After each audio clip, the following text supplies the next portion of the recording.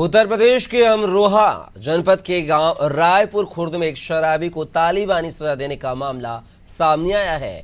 घटना का एक वीडियो भी सामने आया है जिसमें गांव के लोग शराबी व्यक्ति को पेड़ से बांध कर पीट रहे हैं बताया जा रहा है कि शराबी व्यक्ति शराब के नशे में लोगों को गालियां देता था